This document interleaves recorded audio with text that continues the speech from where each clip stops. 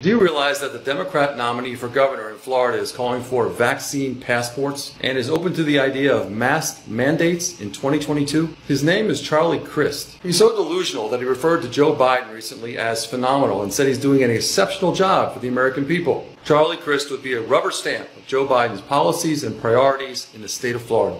Crist also goes around with a personal fan to blow some air up his dress whenever he stands in front of a podium.